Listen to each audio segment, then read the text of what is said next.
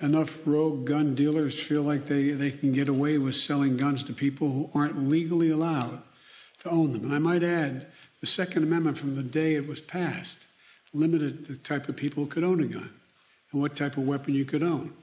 You couldn't buy a cannon. Those who say the blood of the the blood of patriots, you know, and all the stuff about how we're going to have to move against the government. Well, the tree of liberty is not water with the blood of patriots. What's happened is that there never been, if you want to think you need to have weapons to take on the government, you need F 15s and maybe some nuclear weapons. The point is that there's always been the ability to limit, rationally limit the type of weapon that can be owned